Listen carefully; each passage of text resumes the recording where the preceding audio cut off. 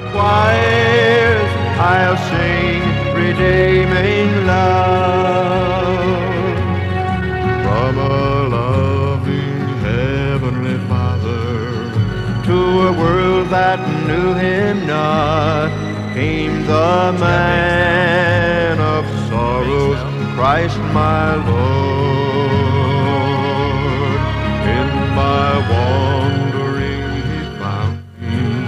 He bought my soul with his own blood, gave to me a peace this world can never afford. Redeeming love, a love that knows no limit. Redeeming love, a love that shall not heart will sing throughout eternal ages. All right, and let's all stand. Let's take our songbooks to page 260. We'll sing He's Able to Deliver Thee. Amen. Page 260 on that first verse. Think about the words you sang. Page 260. Here we go. Tis the grandest scene through the ages rung. Tis the grandest theme for mortal tongue. Tis the grandest theme that the world our song our God is able to deliver thee. He is able to deliver thee. He is able to deliver thee. Though by sin oppressed, oh, go to him, for as our God is able to deliver thee. Tis the grandest theme in the earth ornament. Tis the grandest theme for mortal strength. World again, our God is able to deliver thee. He is able to deliver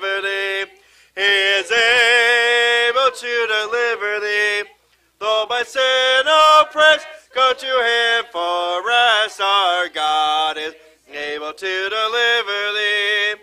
Tis the grandest thing, let the tidings roll till the guilty heart to the sinful soul. Look to God in faith, He will make thee whole. Our God is able to deliver thee. He is able to deliver thee. He is able to deliver thee. Though my sin oppressed, go to him for rest. Our God is able to deliver thee.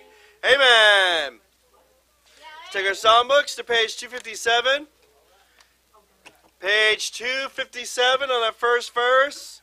Talking, saying, look and live. Amen. Page 257. I've a message from the Lord, hallelujah. The message unto you I'll give. Tis recorded in his word, hallelujah. It is only that you look and live. Look and live, my brother, live. Look to Jesus now and live. Tis recorded in his word, hallelujah. It is only that you look and live. I've a message full of love, hallelujah. A message, oh my friend, for you. Tis a message from above, hallelujah. Jesus said, and I know tis true. Look and live, my brother, live. Look to Jesus now and. Tis recorded in his word, hallelujah. It is only that you look and live. Life is offered unto you, hallelujah. Eternal life thy soul shall have. If you only look to him, hallelujah. Look to Jesus who alone can save. Look and live, my brother, live. Look to Jesus now and live. Tis recorded. Hallelujah. It is only that you look and live. I will tell you how I came, hallelujah, to Jesus when he made me whole. Twas believing on his name, hallelujah. I trusted and he saved my soul. Look and live, my brother, live. Look to Jesus now and live. Tis recorded in his word, hallelujah. It is only that you look and live. What? Yeah, yeah, yeah. We already sang for him. Oh, we did? We sang for you, right, Tom? Oh, yeah. You just because you weren't here and you, you weren't blessed to sing to Tom. We were already blessed to sing to Tom. so, and he don't want to be sung to the second time. He heard us sing the first time. Endured hardness as a good soldier in Jesus Christ. Amen. Well, let's pray. Our Heavenly Father, we want to thank you. We can be here again in your house. What a blessing it is to be with your children, your children here, with the, the family of God here in the house of God, Lord, worshiping our Lord and Savior, Jesus Christ, worshiping our Father in heaven. And we'll give you praise for it in Jesus Christ's precious name. Amen. You can be seated. So, if you haven't heard, it's a state of emergency in Arizona. Yeah, there's a nine coronaviruses. People with nine, nine of them. Three of them are confirmed. The other six aren't. They just assume they have it. Out of the three, two have been healed already. One still has it and is on the way to being healed, but they closed down ASU. So ASU is now closed down. they won't let anybody come to the, the March Madness tournaments. You're going to be playing basketball with no fans. Are you kidding me? These guys are like uh, ding dongs, okay? And they ought, you know what they ought to do? They ought to go work for Hostess so they can get in the package, amen. Bunch of nuts. I'm just telling you. They said they said they said. Wait, I was listening to John Hannity, and he said, right now there's more people sick with the common flu right now than there is with coronavirus. and they'll have more deaths from the common flu than they will the coronavirus. Hmm? You see, don't let this this fear mongering get you. That's all it is. They're trying to make you scared so you'll vote for somebody else because Donald oh, Trump probably behind it all. that, that, that's what they said already. They, when it first came out, that's what they were saying. He's behind it all. He probably helped make it. He met with the Chinese. That's what he was doing there. Putting together the coronavirus so they can kill everybody on the earth and he'll be king of the world.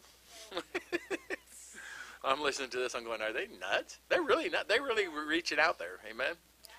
And uh, but see, uh, here's the thing I have a problem with is they have that Patriot Act.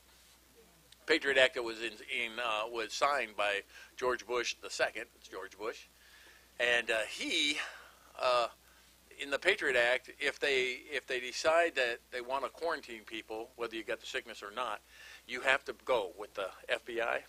You have to go with them, and they they, they put you in the stadiums. Stadiums are going to be the place of quarantine, and so they'll quarantine you in the stadiums, and they'll lock the doors and you can't get out. And they asked, I actually watched the interview with the head of the FBI, and they said, uh, "What if uh, what if an old lady doesn't want to go?" He said, "Well, shoot her dead." That's what he said. We'll shoot her dead. And they go, "You shoot her dead?" Yeah. It's it's going to be it'll be the law that she has to go with us, and if she don't want to do break if she don't want to break the law, she wants to go ahead and go against our rules and our and our uh, uh, commands, then we'll kill her. That's what they said. I'm like, well, this is getting down to the nitty gritty kind of a stuff, right? So uh, I kind of sneak, you know, I tell people I'm sneaky suspicious that they're working up to something here with this coronavirus, because m- more people die from the common flu than they do from the coronavirus, but yet there's fear mongering people. I'm telling you, I saw people by the droves wearing masks in the stores. I know you can't. Well, you can't get toilet paper. You can't get all that stuff now. They're they're not, everybody's buying up toilet paper. What for? Why you guys are nuts? Well, see, that just tells you that their propaganda is working. See, their propaganda is working. See. Oh, by the way, if you haven't seen, uh, here's why you vote for Bernie Sanders. Because Bernie Sanders at his last rally, and I think it was here in Arizona, they had uh, they had uh, um, Nazi flags there. Amen. So there's there's a reason to vote for him. He didn't get mad. He was he was enjoying it. no, no. They showed pictures him and the Nazi flag right behind him and stuff. I'm just telling you, they're not hiding anything. In fact, they said the most honest person in the election right now on the Democratic side is Bernie Sanders because he's not hiding who he is. He said, "I'm communist. I'm a communist, communist, communist sympathizer. I'm a socialist, communist, and uh, and he fit right in line with Adolf Hitler because the communists, so many of the communists did fit in line with him. They they liked the idea he was killing everybody, you know, because that's what they did. They killed more people than Adolf Hitler did. Uh, Stalin did. Huh? Mussolini. I mean, these guys. Stalin was a communist. Mussolini and uh, and uh, Mao Zedong. Mao Zedong killed 45 million of his own people. 45 million of his own people. I'm telling you. That's a, and so and here this is what's on the Democratic side. Stinking communist running for office. Uh, you know, there, there used to be a time that he would have been, uh, you know, hogtied and drug out and never to be seen again. Because we didn't, we didn't, we didn't want people in bondage. Now, people are like, well, you know, if we go in bondage, it's okay. It's all right. That's because they tell them it's all right. They're, they're sheep. You talk about the Christians being sheep. Huh? We're sheep that have eyes open. They're sheep with their eyes closed. You know, what happens when a sheep's got his eyes closed? What, what kind of sheep is that in its stage of maturity? Baby has no ability to think for themselves, hmm. function on their own. See, but we're supposed to be sheep with our eyes open, mature. Amen. Amen. You, Ronnie, you had your hand up. Oh, you you just liked having your hand up, or? Oh, okay. You had your hand up. It wasn't important.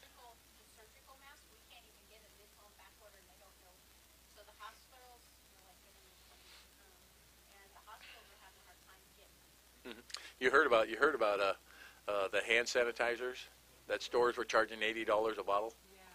Yeah. I'm like, man, get some bleach. hey, use bleach if you have to. I mean, I'm not going to pay eighty dollars for a bottle of hand sanitizer. A 16 ounce bottle of hand sanitizer, eighty dollars a bottle. Are you kidding me?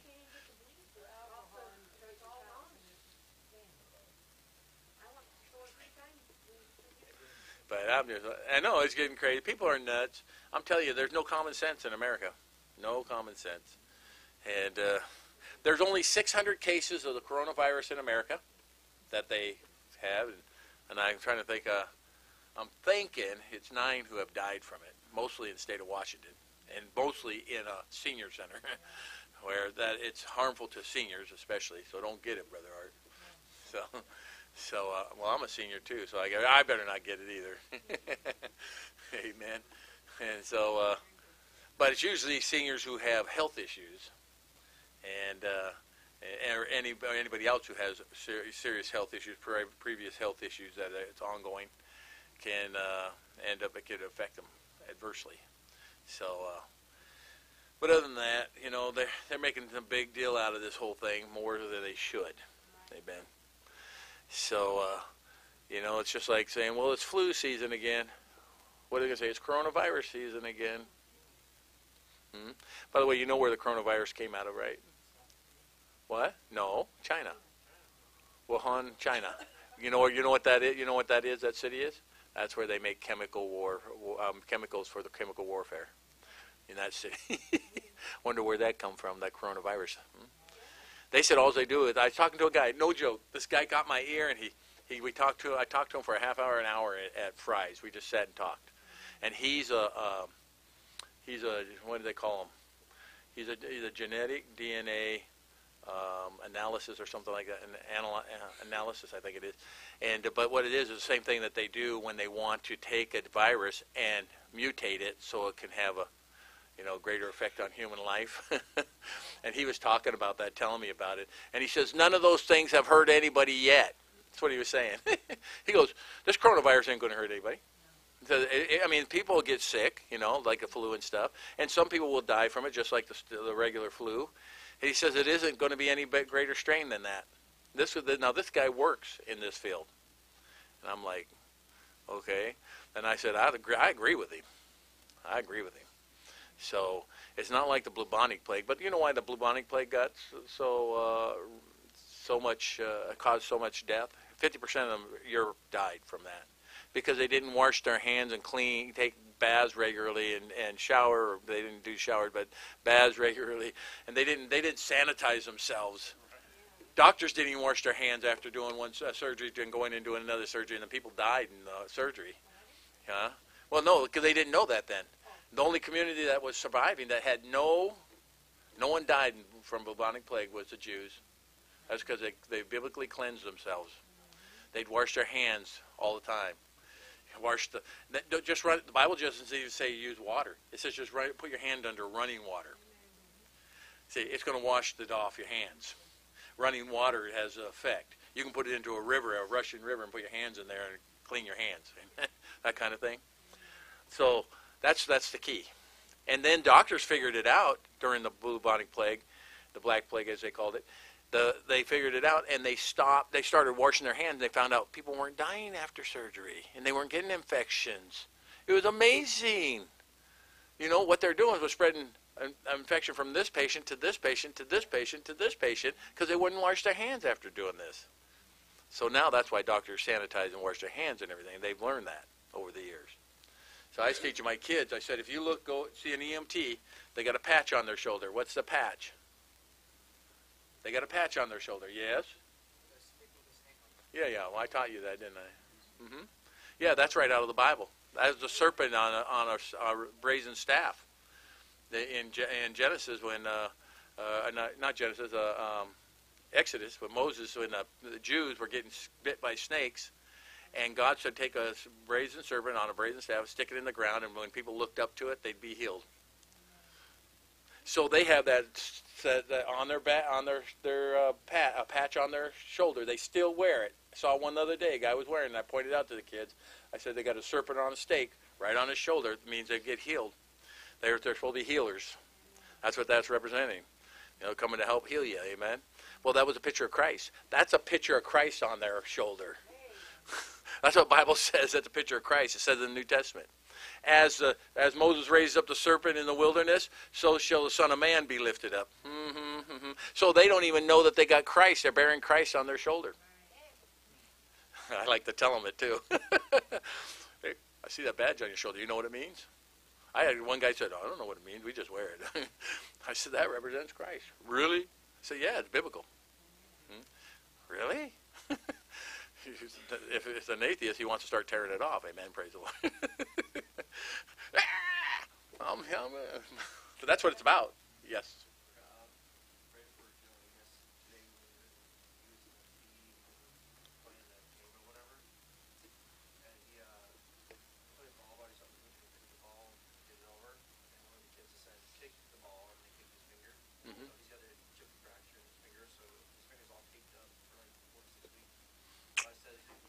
Tell him I'm feeling sorry for him.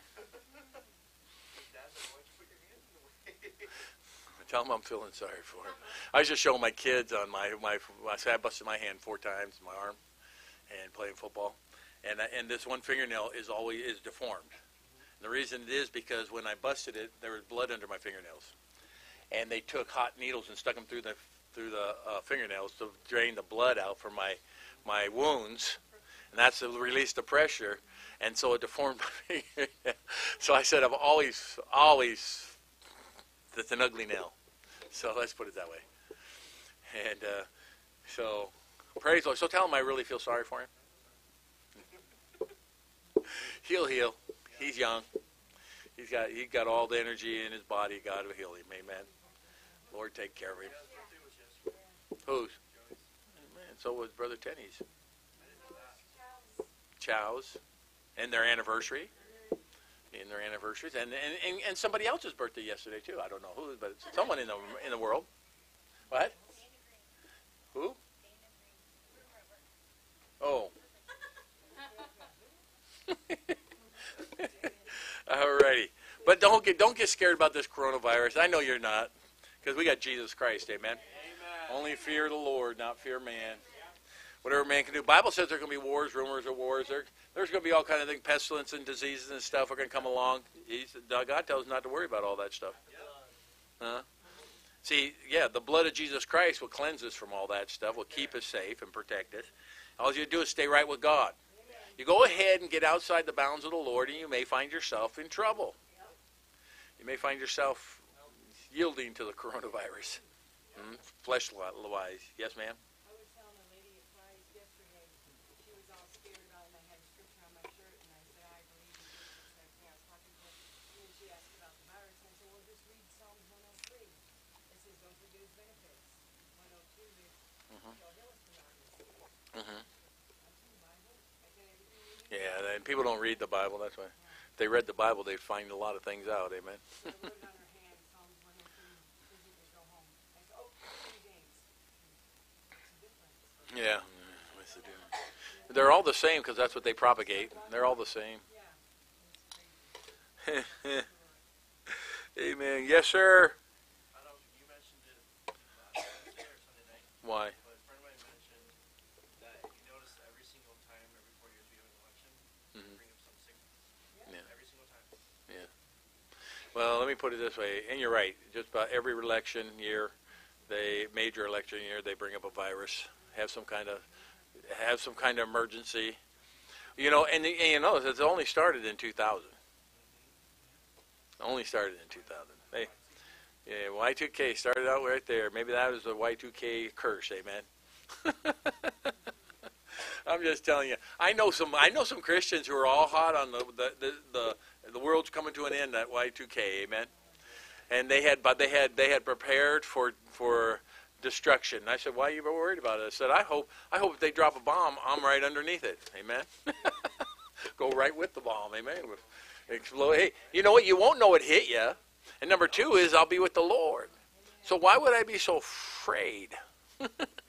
huh? I'm not that I'm looking to die. I'm just uh, look at uh, why would you be afraid of it?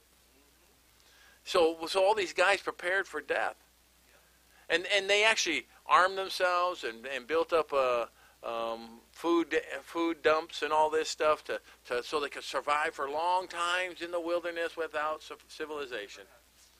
And I'm like, you know what? Have you? By the way, I want to ask you guys a question. If we do have a problem where food is scarce, do you think you can survive on every uh, on the land around here?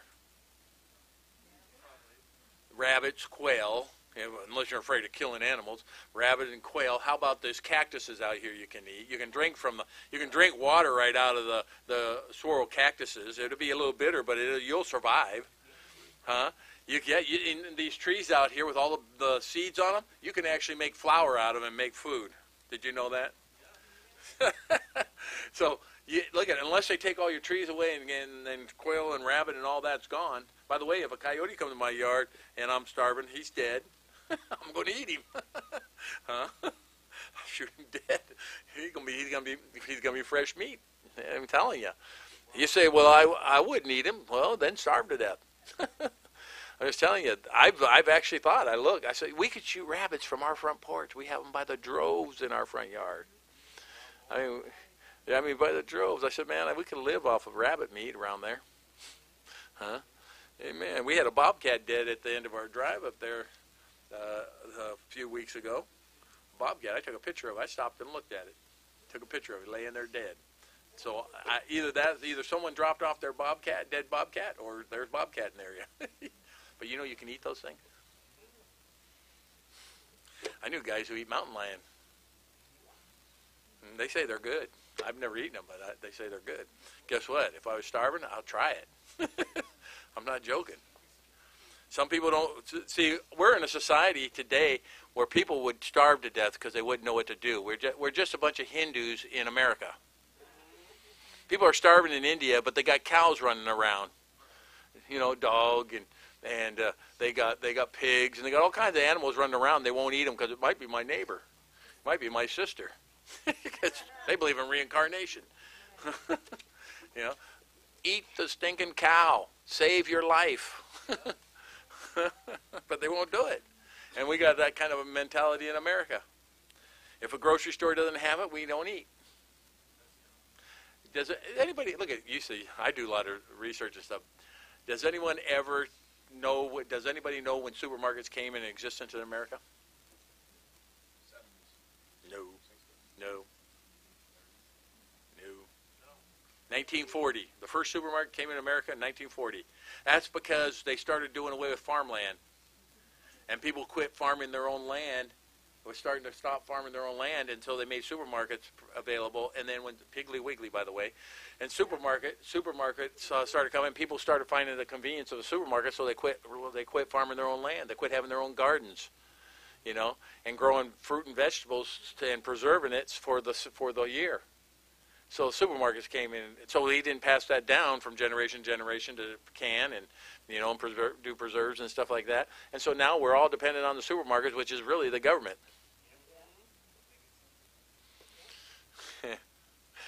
Amen. My wife doesn't. My wife will preserve things and she'll cook and stuff like that. Not like not like you know go get a box of macaroni and cheese at the store. Let's eat it. and if they don't have a box of mac and cheese at the store, I don't know how to make any mac and cheese.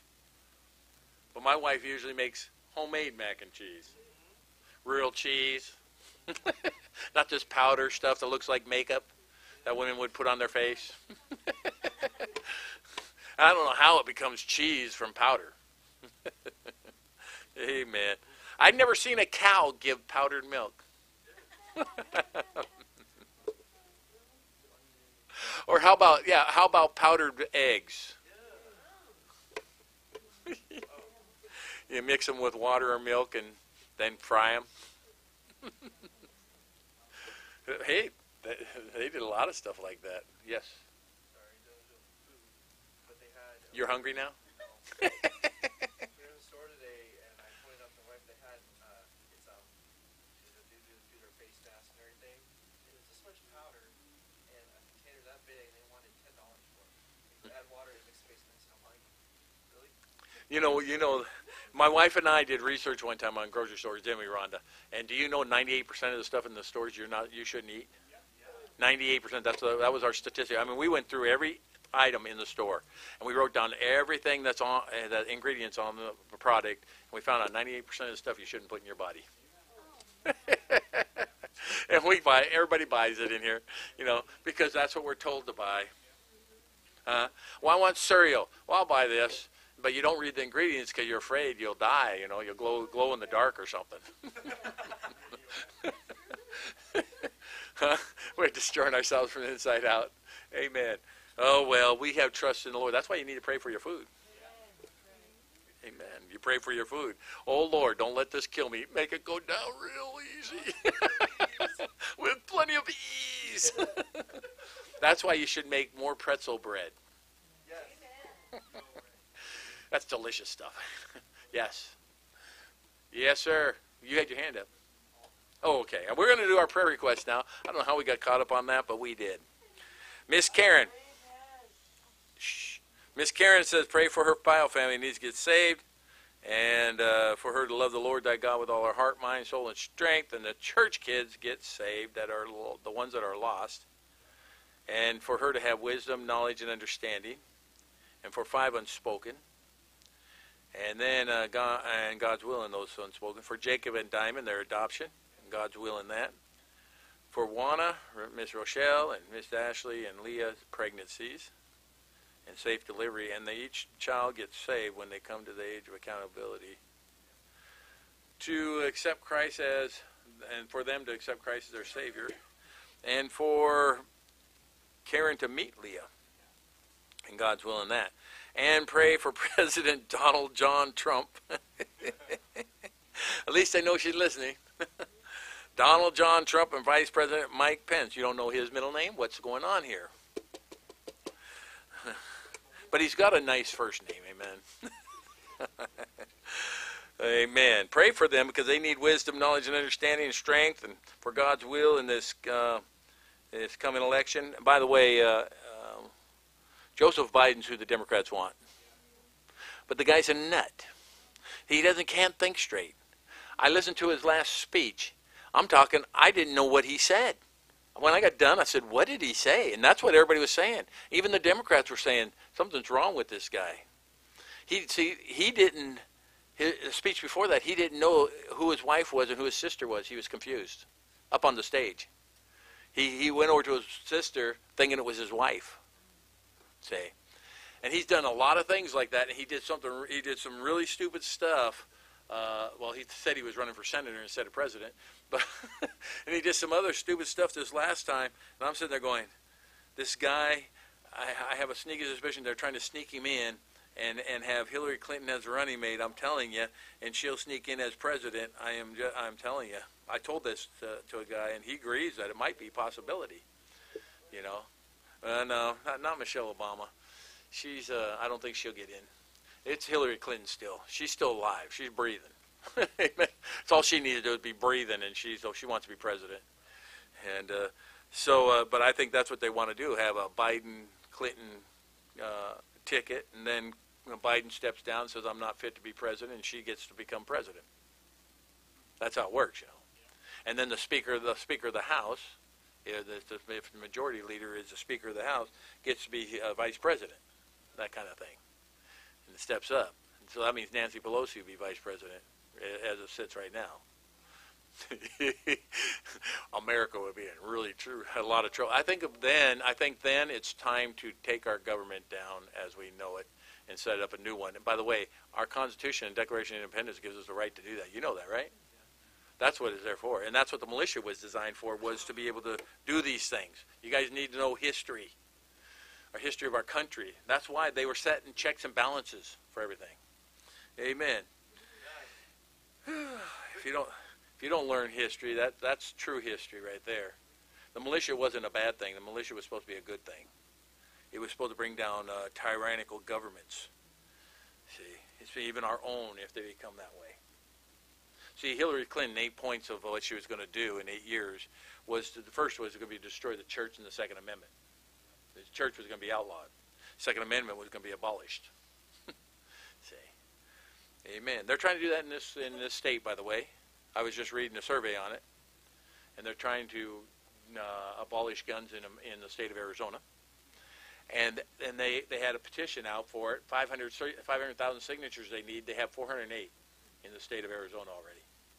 408,000 signatures already in the state of Arizona to abolish guns in the state of Arizona. And they give you the whole list of things they want to do under this this uh, law. I know.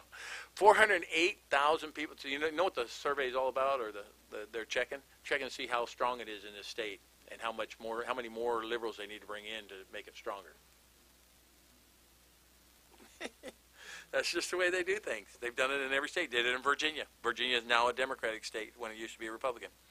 So, amen. I'm just telling you, this is why you need to pray for our government. You need to ask God to save them or get them out. They they either get saved or get those wicked ones out of us, the government. Put, put up some good people in there. Huh?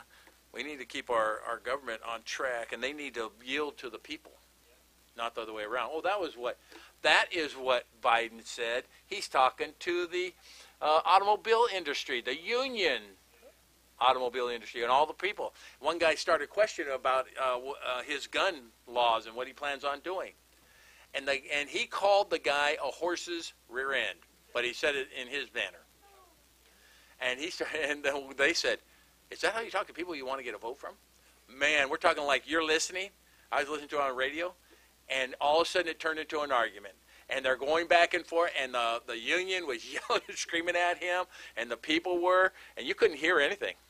They were just yelling and screaming back and forth. He opened up a can of worms there. Now you're talking the union, the automobile union, you know, the, the, the, the they're Teamsters, I believe they are, but the, it's a large union, and he just, he may have just stepped on his own toes, amen. So I don't know. but that wasn't the only thing he called them. That was just a, a minor thing he called them. He called them other things too, and they didn't like it. You don't just tell your your voters, "Hey, this is what I think about you. Now vote for me." You know, if someone called me a a lying, uh, what is it, Karen? A li- lying dog face uh, pony soldier. I'm not voting for him. That's what he called that woman. and I'm like, really? you are so dumb, dumb, dumb, dumb. But these are things he's doing, and you and and and he'll be he'll probably get the nomination because that's who they want. I'm telling you. He's in the lead. You know this. Going into this next uh, primary thing or this next uh, what do they call it?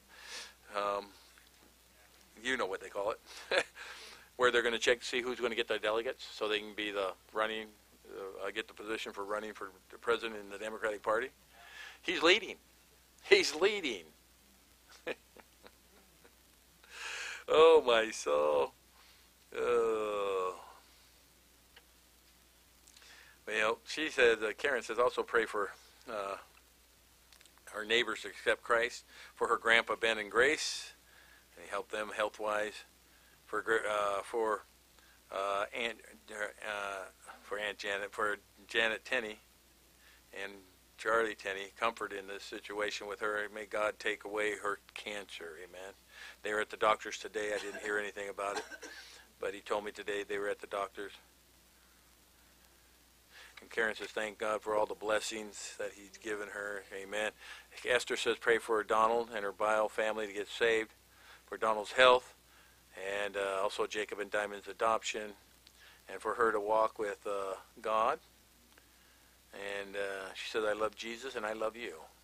Love you, love Esther Bassinas. With the little faces on there, amen. James and Chow says, pray for their health, finances, media ministry, Chow's family, mom, and their health and salvation. Do pray for uh, Miss Chow's health. She was sick uh, yesterday, the day before. She had 101 degree temperature. God's grace and mercy upon them. James driving test tomorrow. He's driving big rigs, amen. And uh, God, and some people aren't even driving little rigs, are they, brother? Oh, Ronnie.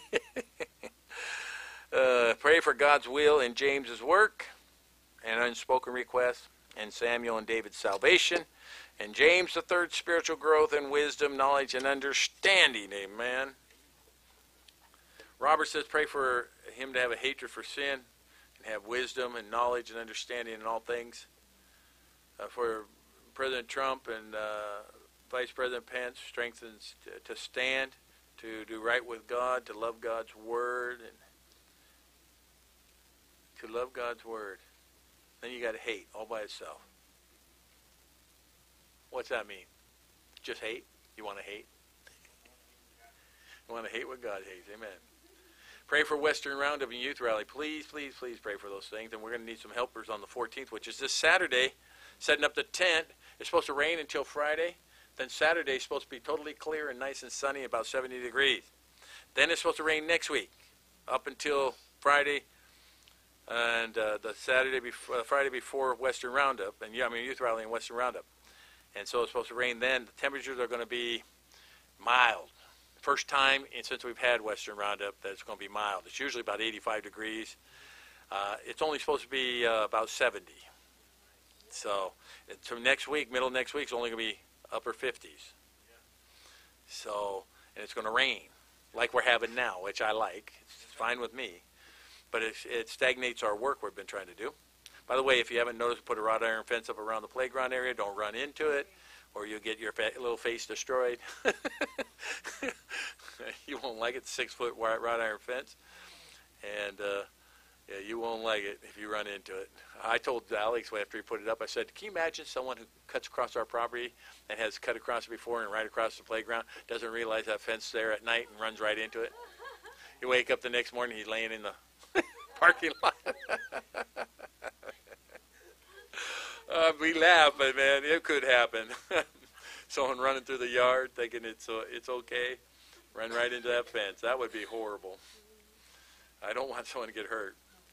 But when you do something new, you you know sometimes you might like putting up a wall or a fence or or you know you you do some gardening, put a rock garden in. Someone stumbles over it, falls on their face. Amen. Amen. They shouldn't cross the property anyway, but you know, you don't want them to get hurt. And so pray for Western Roundup, and youth rally, and for uh, Robert's work and his co-workers to walk in the spirit, not in the flesh, and for him to have love and charity. Amen. Liz pray, says pray for our bio family, and they need to get saved.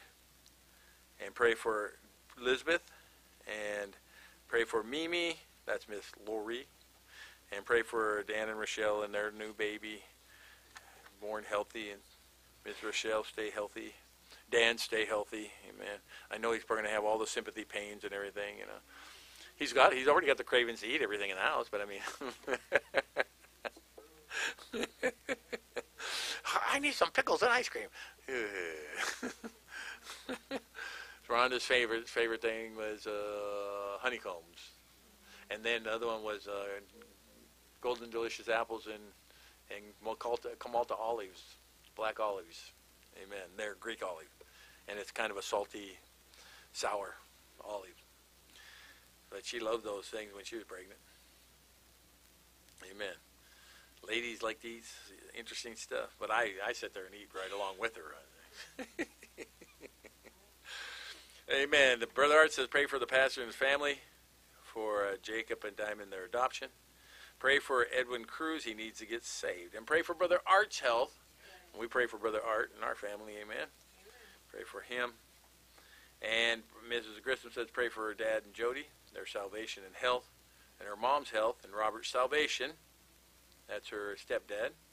For her brother and sister and nieces all to get saved. And an unspoken request for personal for herself and unspoken for work. And uh, God to be shown mighty in her life and her have a closer walk with God. And to have wisdom, knowledge, understanding, and a travel trailer that God wants her to have. She's going traveling, amen. amen. She found out someone has 36 acres up north. She just, you know, move on our property. move on our property. That's all right. I got preachers already telling me that. If you hear a generator running, it's us. you got 36 acres. We can just be on one end. You can be on another. but their purpose is hunting. They'll be up there hunting. Amen. Alrighty. It's funny too. You talk to preachers, they get their they get a hunting tag here. I mean, they get drawn for a tag. Everything goes out the window except honey. We're going hunting. That's the way it is. How do you know? Because some of my friends got tags this year, got drawn for hunting, and and they were asked to preach at someone else's church, and they said, "Oh no, I'm hunting. I'll be hunting. I won't be able to be there. I got a tag, man." And I said, "Well, you give it to your son." I'm not giving it to my son. I'm going hunting. You know how long I've been waiting to get a tag? that did happen here just a couple weeks ago. and so I said, "Amen." I said, "I'll preach for you guys if you need help." Amen. I said, "He just gives me the meat when he gets back." Let him be out in the cold and freeze to death, get wet, uh, sit in a tree, fall asleep, and, they, and guarantee the hunters are sleeping half the time when they, because they go, go to bed late and get up early and go out hunting holding no rifle, and they got, are you kidding me? I know I've been there. Amen. So pray for the Fazio family; they need to get saved. Mrs. Porter and Mrs. Tenney and Mrs. Hernandez, all of them have health needs. Mr. Mrs. Tenney's got the cancer. Mrs. Hernandez got cancer. Mrs. Porter had a hip uh, issue with uh, and replacement. She's doing better. Praise the Lord. Juana, Rochelle, Ashley, and Leah's pregnancy. Uh, Leroy Senior and Junior, their spiritual protection, and uh, Western Roundup Youth Rally, and the Accurate family, safety for them. Amen. James the Third says, uh, pray for his brother and sister to come here.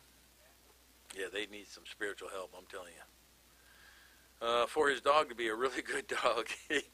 you're talking about you're talking about Bella. Hey, no, that's a miracle by God if that happens. huh? I know. well, at least it wasn't underneath a car. that could have been that. Could have been what happened. That dog is. I think Satan's in that dog.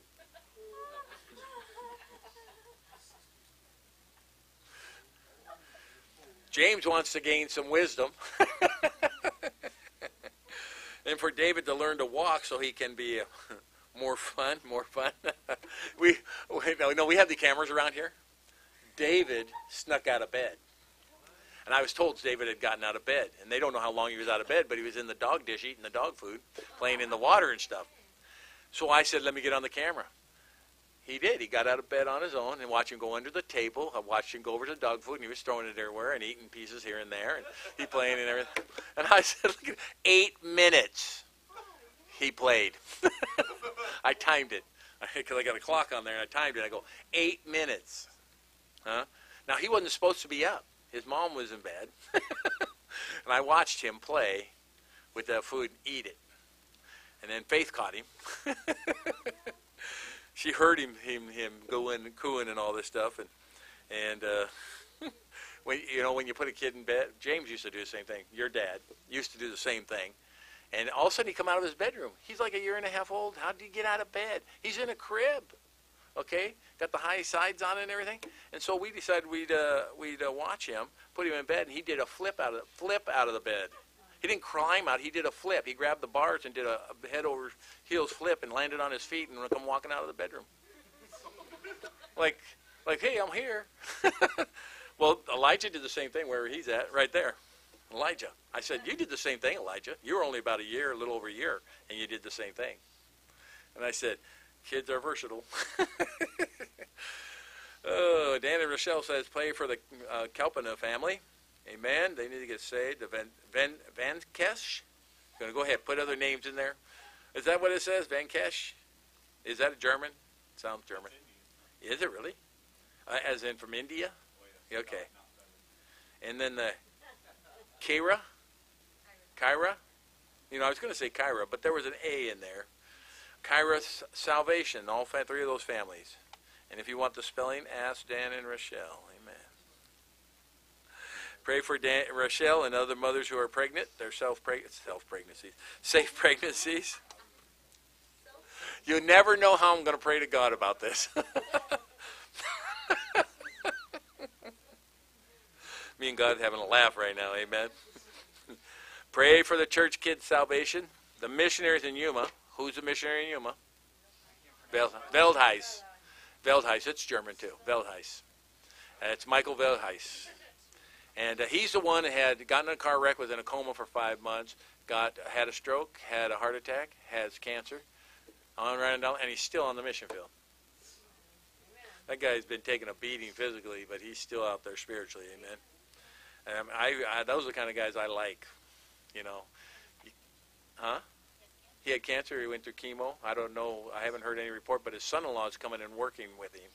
He's probably, uh, my guess is he's probably going to take over the ministry there. But they're working with American Indians there, the Cocopah, Cocopah Indians, Cocopah, Cocopah Indians.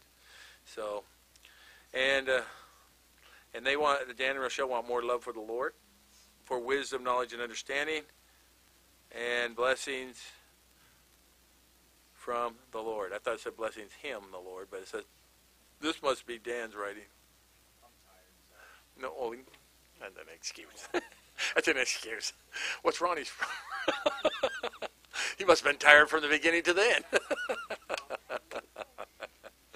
Doris says, Praise the Lord, she's saved. Thank you, Jesus, for your love and mercy you have for me and my brothers and sisters in you. Amen. Praise the Lord. Don't forget coming Saturday for the youth uh, for the uh, setting up the tent for the youth rally in West Roundup, and uh, we're going to need help setting up the tent. So, but don't forget about that. I'm just putting that out there again, so we have some help. Amen. Yes, sir. Probably nine o'clock. That's what time we usually.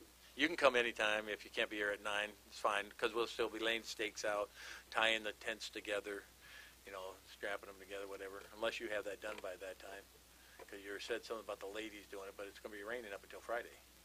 So, at least it's supposed to. I see his hand. What do you got? Um, What do you got? pray, pray for my cousin to help and mercy. Um, I don't think Bobby is a pillow and she pray for her and get her saved. But she, she, oh, pray for Michael. She got surgery. Oh, yeah. She got surgery, so he can't get up from his bed. Oh, okay. You know, another thing is too. We've been teaching uh, Lucian Bible, and he's been sitting there, and uh, we've been uh, he's been in our Bible studies with us, so he's learning learning some things. Amen. I was really kind of surprised because he said he was saying some things today, and I'm going, "Oh, that's in the Bible." you know, he was actually he's actually picking it up. Amen. That's a blessing. And so, by the way, that'd be a good example for us adults to pick up what God has said in His Word, Amen, and uh, obey it and follow it. So, Amen. Alrighty, let's go to prayer. We'll pray.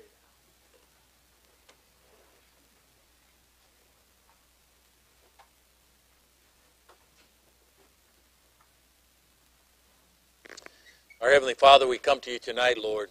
We want to thank you, Lord, for this opportunity to be at your throne, God, that you're in the throne room of God. Through the Jesus Christ, we come, Lord, not through a veil that was made by men's hands, but a veil that is made by the hand of the Lord.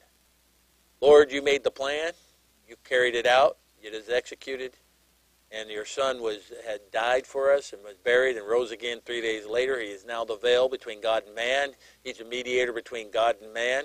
He is who we go through to get to our Father in heaven. God, we want to thank you, praise you, and give you the glory. We thank you for the Word of God, the King James Bible for the English-speaking people. Lord, we thank you for that it's the true, inerrant Word of God. All these other versions, Lord, even the people that, that read those will say it's not the complete Word of God. Well, why do they want that if they can have the complete and inerrant Word of God? The thing that is finished, and that's the King James Bible. I don't understand, God, but you know. And God, we trust you. I trust you 100%. And I've never trusted a man 100% ever. God, I pray that you help us. Pray you help us, each and every one of us, Lord, to be grateful for what you've done. And Lord, in our hearts that we'll have a trust for you, Lord, that will uh, blossom our faith. And God, that our faith would grow. God, I pray that you'll uh, will be grateful for the Holy Ghost that dwells within us and never grieve or quench the Spirit of God. And every day, Lord, we seem to have a problem with some things that sometimes just sideswipe us. Lord, and sometimes we don't even recognize that it does. And it influences us to, to think wrong or do wrong. God, we lay our sin before you even now. God, because we want to have straight communication with you and not anything interfering, no barrier between our God and us. God, we ask that the blood of Christ be applied even now, Lord, to wash us, Lord, so that our uh, we'll be uh, like new, we'll be fresh, and Lord, that uh, that as you say in 1 John 1 9, that if we confess our sins, we're you're faithful and just to forgive us our sins, cleanse us from all unrighteousness, and God to be renewed is a blessing. I pray, pray now for these requests that we mentioned, Lord, and many of them. And God, I pray for Miss Doris, and she thanks you for her love and mercy that you've given her, salvation. And she prays for her brothers and sisters in Christ, Lord. I thank you, Lord, for giving us a renewed spirit in this place. And God, taking out the, the evil that has come, had come into our place here. Lord, I know you've gotten rid of some of it. And Lord, I just pray that your power come to this place and the Holy Ghost have his way. God, I pray that you give us. I know you. There is some power because we have the Word of God. We have people that have come in the name of Jesus Christ to worship together. But Lord, may you have that outpouring of the Spirit on this place. And God, I pray that we don't let any wickedness in and bind Satan in the hordes of hell. And uh, Lord, push them back. And Lord, let us have the free reign to have liberty and and uh, righteousness reign in this place. God, we pray for Dan and Rochelle. They ask for the Kalpana's family and the Van Kish and the and Kairas and their salvation. The families here, Lord. I pray you'll bless them, Lord. Pray you work in their hearts. I pray that the, Dan and Rochelle can be a testimony unto them. Pray for Ms. Rochelle and all the ladies that are pregnant that we pray for safe pregnancies. Lord, I pray that these babies will be born healthy and, uh, and get saved early in life, Lord. God, uh, uh, when they come to that age of accountability, you know exactly what they need. We just put it out there, Lord, that they we want them saved. We like to see them uh, raised in the fear and admonition of the Lord. They have that fear of God. You tell us to raise them in the fear and admonition of the Lord. Why would we not t- teach them to fear God then? That's what we're trying to do. Fear God. He is righteous and just, and and and He's mighty and powerful, and an awesome God, and He's a consuming fire. That's what your word says. So I believe you. And God, you could consume a man in a matter of a split second. In fact, a second, it wouldn't even be a second.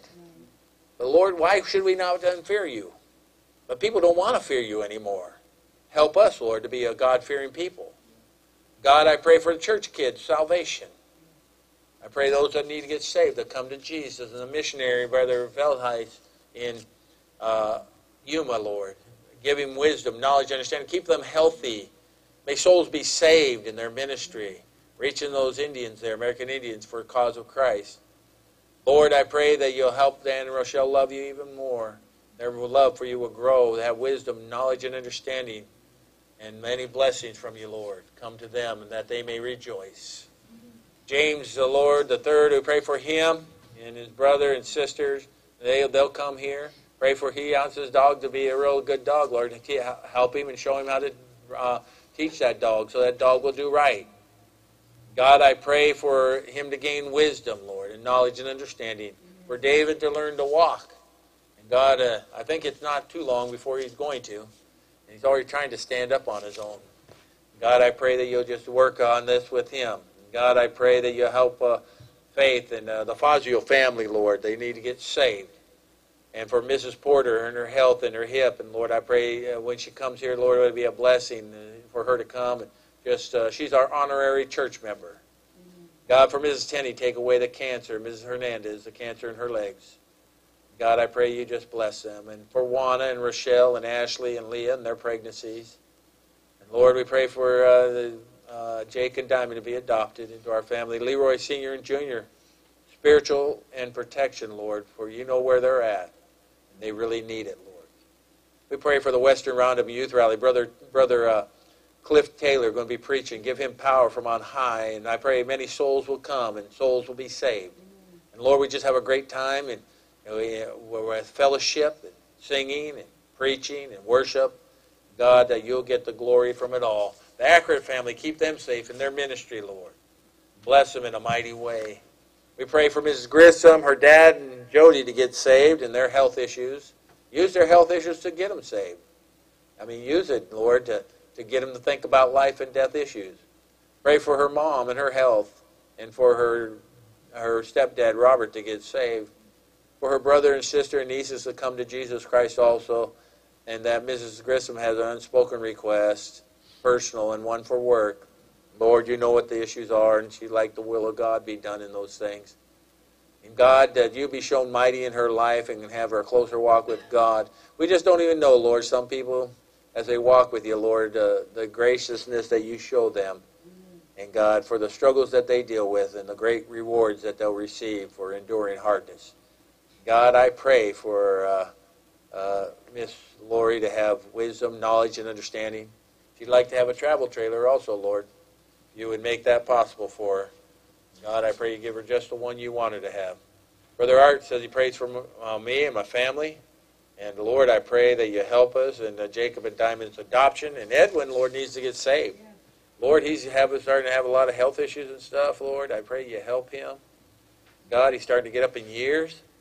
He needs to, he needs your, your help. Lord, he needs salvation. I pray for Brother Art, his health, Lord. We've been praying for him. I pray that you continue. I'm glad he's here tonight. What a blessing, Lord. God, I pray you just give him some strength. Give him strength, Lord. Give him strength in his legs, strength in his body, all around, Lord. I just pray that you help him. Pray for Miss Liz. Her bio family needs to get saved. And the Lord, and pray for Liz, and she help her to keep focused on you and follow the will of the Lord in her life. And pray, she prays for Miss Lori and asks that you continue to help her and bless her. And Robert asks for him to have a hatred for sin, but love wisdom, knowledge, and understanding. And we do pray for our government, our, our president and our vice president. They have strength to stand and have wisdom, knowledge, and understanding. And put down the evil ones that are trying to destroy him and, and our vice president. Lord, you put them up, you put up governments, you put up people, you put them down. Lord, you set up cities and you take cities down. You take you take old nations, you set them up and you put them down. I think that's why when America got started, you you made this nation. And God, you used men and women who were God-fearing people to start this nation. Were they always right? No, but you did use them to start this nation. And God, we're here now and established. And if we if we weren't here and established, it wasn't your will. And God, you started many nations around this world. And God, they're still here. That's why Israel's still here. Because you started it. No one can abolish what you started unless you want it to be taken down. God, I just pray that you just help us, Lord, and, and get evil out of our nation. I like to get evil totally out of our nation, push it back, but Lord, we've allowed it into the core of our nation, right into the heart of our nation. And now they're running for office. Wickedness and evil in high places. And like one lady said, that she from Cuba, she said, she said that uh, Bernie Sanders was pure evil. And, and on the outside, you would say he wasn't, but he is. Lord, we just pray for Western Roundup Youth Rally. Lord, pray for the workers and I pray for Brother uh, Robert's work and co-workers that they'll walk in the Spirit, not in the flesh. They get saved. James and Chow ask for health issues and finances. Media ministry, Lord. Answer the requests there, Lord. God, for Chow and her health, especially, Lord, she wasn't feeling well the other day. Pray for her, pray for her family and her mom, their health, and they get saved, Lord, out of uh, uh, the Buddhist background. God, I pray for God's grace and mercy upon them. And James' uh, driving test tomorrow. And Lord, I pray you'll bless in a mighty way there, and that God, your will in James's work will be uh, a blessing upon them. We pray for unspoken requests, Lord, for Samuel and uh, and David, Lord, uh, their salvation. We pray for James there, his spiritual growth and wisdom and knowledge and understanding for him. And God, uh, Karen asked for her bio family to get saved. And Lord, please may you make that possible. Uh, Lord, work on their hearts even now before anyone ever gets to talk to them. And Karen wants to love you with all her heart, soul, mind, and strength. Be obedient to you, Lord. God, uh, she wants to have wisdom and knowledge and understanding also, and she's got five unspoken requests. And she also prays, Lord, for uh, uh, uh, she prays for uh, her sister to get to meet Leah. And Lord, we just pray that you bless in a mighty way, and that Leah will get saved. And Lord, she wants our neighbors to get saved, accept Jesus Christ as their Savior. She prays for Ben and Grace. Lord, help them. Their health, they're getting up in years. They're way up there in years now. And we pray for, uh, she prays for uh, Janet and, and Brother Charlie. And Lord, the health issues there, the cancer. Brother Charlie, uh, he would love to, to see his wife healed. God, what rejoicing would come. But he, I know, Brother Charlie, he'll still rejoice in you, Lord. God, we just want to thank you for him. I pray for Esther, Lord, and her bio family to get saved, to die, Donald get uh, saved in his health issues and help him, Lord. And Karen, Esther wants to walk closer with you, Lord. And she just wants to tell you she loves you. Lord, uh, that's what we all should be saying. We love you, Lord. God, we just want to give you the praise and honor and glory for what you've done in our life. Thank you for saving our soul. Boy, would we be in a mess if we weren't saved. God, uh, we should just be thankful that we've been uh, things have been untangled in our life. God, you put us on the straight and narrow way. God, we want to praise you and give you glory and honor in Jesus Christ's precious name. Amen.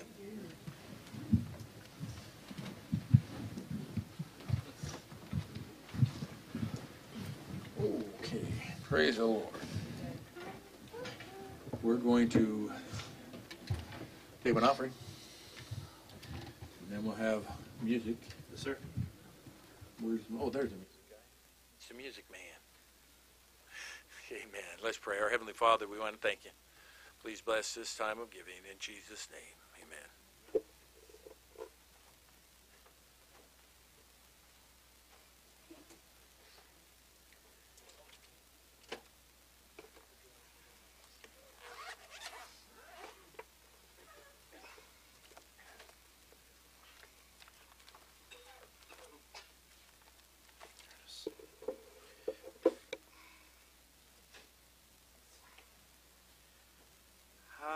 Deep the Father's love for us, how vast beyond all measure, that He would give His only Son to make a wretch His treasure. How great the pain of searing loss! The Father turns his face away, as wounds which mar the chosen one bring many sons to glory. Behold the man upon a cross, my sin upon his shoulders. Ashamed, I hear my mocking voice call out among the scoffers. It was my sin that held him there until it was accomplished. His dying breath has brought me life. I know that it is finished. I will not boast in anything, no gifts, no power, no wisdom, but I will boast in Jesus Christ, his death and resurrection. Why should I gain from his reward? I cannot give an answer. But this I know with all my heart, his wounds have paid my ransom. See, that's good.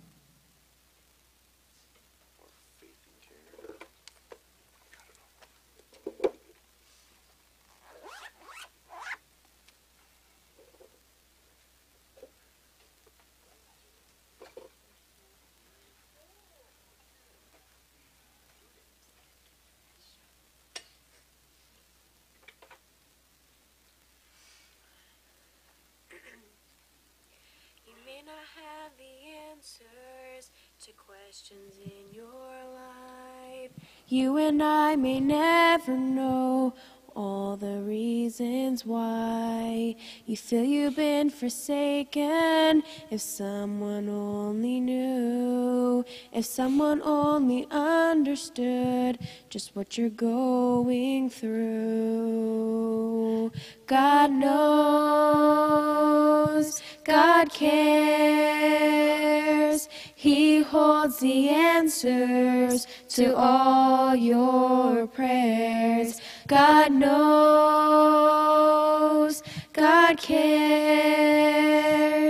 Gave his only son to die on the cross so you and I would know that God knows.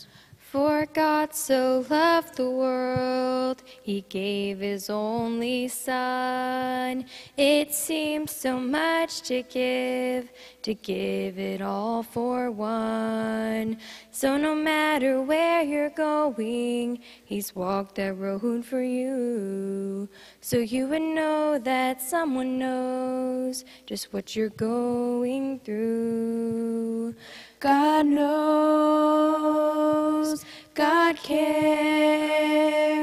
He holds the answers to all your prayers. God knows, God cares.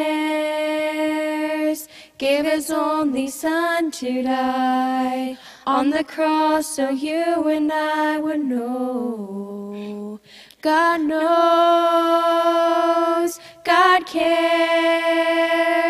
He holds the answers to all your prayers. God knows, God cares.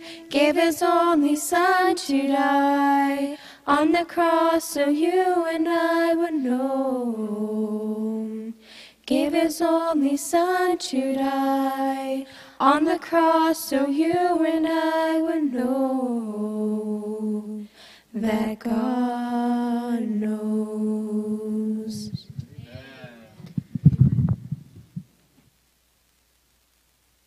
Amen. Well, let's dismiss uh, Ronnie's class. And when they, they're dismissing, we'll turn to Proverbs chapter 11. That's Proverbs chapter 11. That's Proverbs chapter 11. For all you who didn't hear me the first time, when you find it, let's stand. Proverbs chapter 11. Start in verse 1. It said, The false balance is abomination to the Lord, but a just weight is his delight. When pride cometh, then cometh shame, but with the lowly is wisdom. The integrity of the upright shall guide them, but the perversions of the transgressor shall destroy them. Riches profit not in the day of wrath, but righteousness delivers from death. The righteousness of the perfect shall direct his way, but the wicked shall fall by his own wickedness. The righteousness of the upright shall deliver them, but transgressors shall be taken in their own naughtiness. When a wicked man dieth, his expe- expectation shall perish, and the hope of unjust men perisheth. The righteous is delivered out of trouble, and the wicked cometh in his stead. An hypocrite with his mouth destroyeth his neighbor, but through knowledge shall the just be delivered. When it goeth well with the righteous, the city rejoices, and when the wicked perish, there is shouting. By the blessing of the upright, the city exalted is exalted, but it is overthrown by the mouth of the wicked. Our Heavenly Father, help us to understand what we read and what we're going to read and what we're going to look at. And Lord, you just take us as far as we need to go, because this is your time. Lord, we need you to speak through me. I can't do this on my own. God, I pray that the message from uh, the throne room of God will make it here to the ears of the people that need to hear. We give you praise for it in Jesus Christ's precious name. Amen. You can be seated. You know what I'm thinking of doing?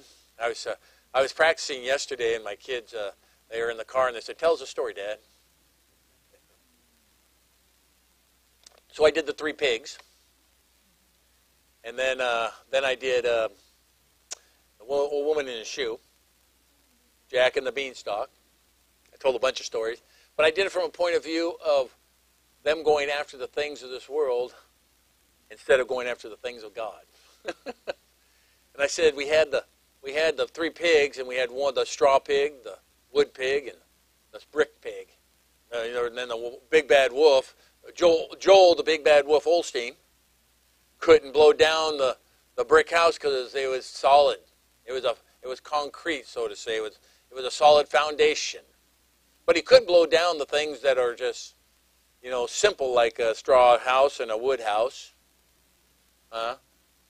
And uh, but they found comfort in the brick house. and I was I was preaching this to the kids, man, and I was going on about it. And uh, and then uh, on the Jack and the Beanstalk, he went to go find the, go- goose that find, uh, laid the golden egg. I said he would have should have done was find the Bible that had the, the treasure. uh, he went out and he sold his cow for a bill of goods. Amen. Five five magic beans. No, no, this all just coming to me while I'm while I'm uh, driving along, and they tell us a story, Dad. So I'm just started. It was all by. It was all. Uh, um, what do you call it? Uh, when you don't, when it just off off the cuff. That's basically what it is, huh? Impromptu. And so I was just doing that, and man, and I was even kind of surprised the stories ended all right. and I started thinking, I said, I ought to do this like on a video or something. Tell stories like that to people. We take those fairy tales and turn them into real, realistic uh, principles. Amen. And uh, and not end like the fairy tales do. End like it should biblically. Amen. Amen. And uh, I mean seriously. And but then, then that's what made me think of Proverbs here. I was I was reading this, and I've read Proverbs. I don't know how many times. It's in the hundreds of times. And um, Proverbs chapter eleven, verse one, came to my mind while I was reading this and studying it.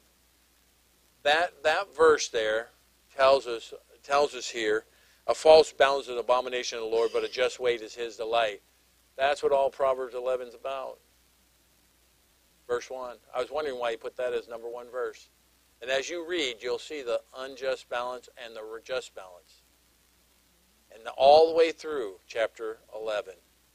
And I sitting there going, all the times I read it, I never, never saw that. Want to know why? Because there's always something new to learn. God can only give you so much. And you can only take in so much. And then he just says, Here, let me show you something else. and I've quoted that verse, and I bet you I've quoted that verse at least a hundred times. And I've got railed on by other preachers for quoting that verse, and they say that's not what it means. Oh, yes, it does mean that. And God explains it in this chapter, in verse uh, in chapter 11, and He'll go over it with the unjust man and the just man, the righteous man and the, the wicked man, and, and on and on. And He talk, he talk about, you know, here's why, you, here's how you get balanced, and here's how you aren't balanced. Huh? And he goes on and tell you. And by the way, and all of it ha- all of it deals with spiritual. God's not so interested in your physical as he is the spiritual. Oh, yeah, he'll take care of you physically. He'll supply your needs. He'll give you a roof over your head. He'll put clothes on your back, food in your belly. But that's not his main purpose for you. You're to please him. Now let me ask you a question. How are you going to worship God? In, in flesh? No, spirit and truth, the Bible says. The only way you can worship God. So God's interested in your spiritual being. So every, I believe every bit of the Word of God doesn't just have a physical application, but also has a spiritual application, which is high on God's list of what He wants you to grasp from His Word. Not that you can't use it for phys- physical applications to help avoid things physically. Uh, but see, you need to be spiritual. See, if you just do things physically, which these preachers told me, so it's just only a physical application, now you're out of balance, I told them when they said that. And they got angry at me because now I just told them they were violating this verse. I said, you need to be balanced, not only physical, but spiritual. You walk physically in this life, but you got to be a spiritual being. That's what pleases God. God's not, God's not pleased with you if you walk in the flesh. Why? Because the flesh fails you and will fail Christ. He didn't come to save your flesh. He came to save your soul. Huh? And he speaks in your spirit and soul, and he will talk to you that way. It's not all about the flesh. But man, men today are it's all about the flesh. Look at these churches now are all about the flesh. That's what this music's about. That's what this teaching. I can't believe they don't even know what the Bible says in these churches. Hmm? I told I told my I told my kids I said you know what these people they're teaching all this about the uh, supposedly supposed to be a church and they're teaching all about the flesh and to fu- fulfill the lust of the flesh instead of fulfilling, fulfilling God and uh, worshiping Him in truth and spirit and instead they want to fulfill the lust of the flesh and they think that's okay and it's pleasing unto God. That's exactly what they're teaching. Huh?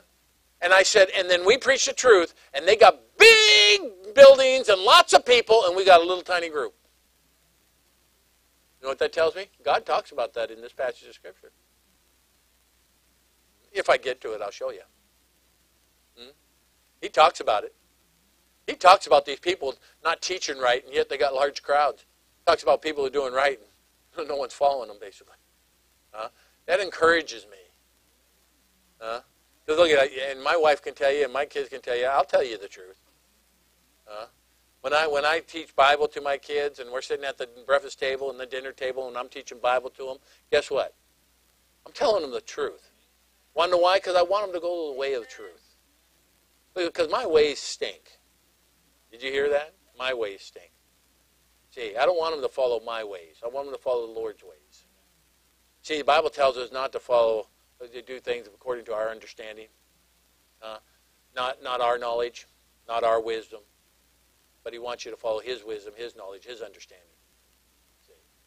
That's what He wants us to have. So guess what? I'm trying to get to them, to them inherit this. See, I don't want them to inherit the way I used to re- believe and the way I was raised. Uh, I want them to be. I want them to inherit the Word of God into their hearts and minds. So we say here, so he's got a false balance of abomination of the Lord, a just wait is his delight. Amen. And that's what he's looking for, a just wait. And then it says, when pride cometh, then cometh shame. That's an out of balance situation. Because pride is always filled with destruction. Look at, and look at, I have, this is maybe what you would call a pet peeve, and a lot of people think that's what this is called, but it isn't. It's biblical. And that is, there's no good pride. People say, I'm, I'm, I'm proud of my son. Sorry, ain't wrong answer. Well, I'm proud of the way I did things. Ain't wrong answer. I'm proud of my business. Ain't wrong answer. You're supposed to be pleased. This is my son in who I am well pleased. That's what Jesus, God said about Jesus Christ. Huh? He's always talking about pleasing him, not making him proud. It's not a pet peeve. It's actually biblical. And I've heard preachers stand in our pulpit here. I love them. And, and I know they're good preachers and they don't mean anything by it, but they'll say, I'm proud of this and I'm proud of that. And I said, quit talking about pride. Because only by pride cometh contention. Huh? Yeah, pride, pride cometh destruction. Haughty spirit before a fall. Well, I'm, I'm not trying to teach people pride. I want to teach them humility. Because pride bringeth shame. That's what it says. You want to know why shame comes? Because you're out of balance. See, humility puts you in balance. Get in balance. See, I'm so glad that there are certain people that used to be in our church, and I, and I, and I'm I don't want to sound wrong about this, but they were so arrogant and prideful you couldn't correct them from it. That they they would wear shirts that would say "I am proud," huh? And I'm sitting there going, and I'm saying, "Look at I'm trying to stop being proud, prideful, and you're here you are propagating it, and, who- and little ones are learning to be prideful, and you, your family's prideful, and blah blah blah, and I don't want that." I want people to learn humility in Christ. Because that's where balance is at. And you will please God. See? You- don't want to be, look at, it says an abomination to the Lord. That's a false balance. Abomination. Now let me, can you get any worse than that? Abomination is about as bad as you can get in the eyes of God. Huh? You- You're asking God to eat out of the dump. Huh? Grab some stuff we dumped in the garbage and let go ahead and put it on your plate. Hmm? Here, have some of this, God. You know, there's things he rejected in the Old Testament when they brought something to him for sacrifice, and he rejected it. Or in worship, because it was ungodly, because it was done wrong, it was out of balance, and he rejected it. He killed people for it. Huh? You say, well, he's not that way today. Oh, yeah, he changed because he's, still, he's not the same yesterday, today, and forever. The only thing that stops God from taking everybody's life in this world is probably Christ, and I'm not saying probably it is Christ because of His Son. He's he's the he's the mediator between God and man, and I can see Christ standing up there. Okay, God, I know this is this is horrible to you. It's an abomination. Can we can we like He said in the New Testament? You know what Christ said? He said, "Don't cut the tree down. Let's put some dung around it, dig around it, and dung it, and see if it brings forth fruit next year. Hold off another year." I believe that's him pleading for us. Hold off, God, one more time. We know they're not doing what's right. We know that that's an abomination unto you. The Lord, one more time. You know what God does? He looks at his son and says, I'll do it for you. I'll do it for you. Hmm? But here he says right here, but with the lowly is wisdom. And, and who's the lowly? Those the Bible says, uh, learn, uh, I am meek and lowly. Learn of me. That's what Christ says. And so someone is in Christ. Someone who's following the Lord. That's the only way you're going to be lowly. You can't be lowly on yourself. Your flesh it stinketh. It's full of pride. My flesh is full of pride. Look, at I'm not just pointing on you. I'm pointing at me. I know what I am. Uh, but I'm just trying to help you to understand who you are. By the way, I preached this in a church in Seattle area, and boy, did I get railed on. How dare you tell us that we're prideful our flesh is Bible tells us there's no good thing in your flesh. so I believe God. My flesh has no good, nothing good to offer me. If I walk in the flesh, I'm getting offered a bad, uh, bad uh, deal. Uh, and I'm going to offer God a bad deal. Do you understand that? It gives you a right, that you, it gives you a, a goal or uh, a reason to walk in the Spirit instead of the flesh. I don't want to offer this to God. My, my flesh stinketh. Bible says that sin dwells in your flesh. Dwells. What's that mean? Lives there. Hmm? I see some of you guys shaking your head yes, because you know it. Huh? Amen. It's not a it's not a surprise. Ding! Oh wow, I didn't know I sinned. But there's people who believe they don't sin. I had one lady told me, I'm not a sinner. I go to church. Go down to the prison where all the murderers are at. They're the sinners. Really? Only ones that sin on the face of the earth? The murderers, huh? Amen. Verse 3 The integrity of the upright shall guide them. See that? The integrity of the upright shall guide them. That's you want to know why it guides them in? The Word of God. You want to know why they have integrity? Because of the Word of God. You know what integrity is? Someone give me a definition they believe integrity is. Yes. That's a good definition. Yeah, it's it's who and what you are. You will you will do right if no one's looking, or if someone is looking. You don't do it right because they're looking. You do it even when they're not looking. David had his integrity. There were times he messed up, just like most people do. But look at your integrity will preserve you. It'll guide you. So you'll say, "Oh no, thus saith the Lord." You know when it was just uh, Joseph and Potiphar's wife, He could have went and uh, did wrong with the Potiphar's wife. But you know what integrity said? Oh no, you'll offend God. You'll offend God if you go ahead and commit this heinous crime against him. Uh, commit uh, fornication with him. Adultery. And so he said he ran. No, my integrity tells me, put on some wheels. I'm heading out of here. I'm gone. And he didn't go back to get his jacket or his coat when he left because she grabbed his coat and. And he didn't go back, oh, I better go save my coat. No, his integrity says, forget the coat. Hmm. Who cares? She can keep the coat. uh, I'm not worried about it. I'm worried about my safety and God.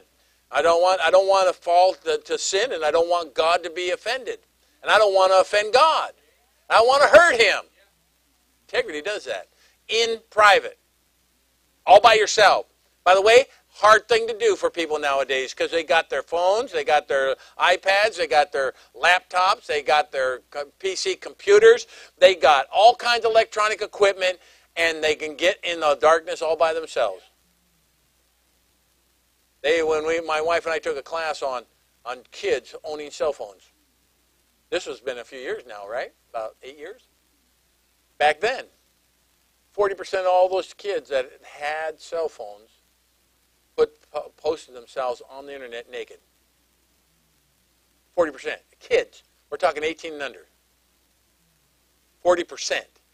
Want to know why? Because they have no integrity. They're in the dark, all by themselves, think no one's looking. Google saw it. The person who they sent it to saw it. And by the way, once it goes across the net, it's out there forever. 30 years from now, it can come up again. You say, how do you know? It come up when people would pose without clothes on. I mean, these famous actors and actresses now, and they were struggling, so they went and posed without clothes on to make some money, and now it's coming up 20, 30 years later. Look at what they did then. You think the internet's going to be any simpler or harder? Huh? Yeah, they'll be they'll be posting that stuff. Hmm? They're looking hard at Trump trying to find things. I'm telling you, they're going to have enemies that are going to bring it up. Better have integrity. That's where you're going to be balanced. But the perverseness of transgressors shall what? Destroy them. Yeah. Perverseness of transgressors, no integrity. It'll destroy you. You're either going to be preserved or destroyed. Can you imagine if you uh, my mom used to can, I mentioned this earlier, she used to can all kinds of things. She canned pickles and beets and corn and, I mean, you just named green beans, you named it, she canned it.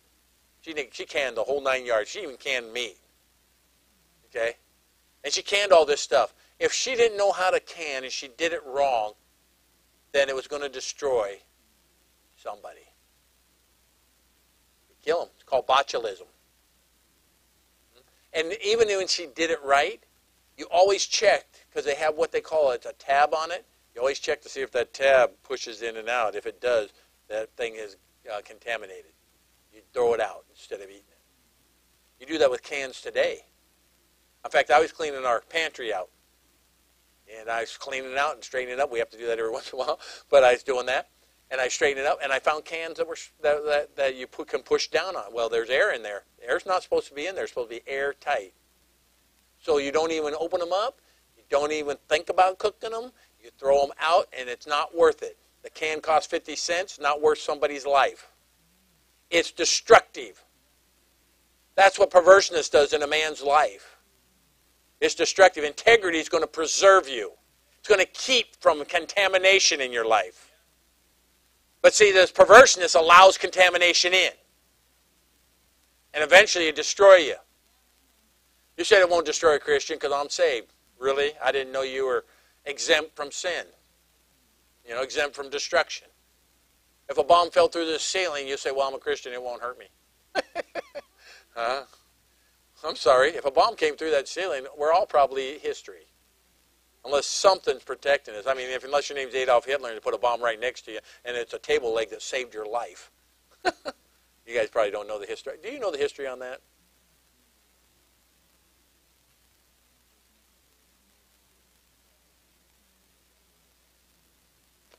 A lot of people died for that. They executed people for it. because they had a big plan. They were trying to get rid of him, trying to get rid of Adolf Hitler. A, they set the bag down that had the bomb in it, and the table leg protected him.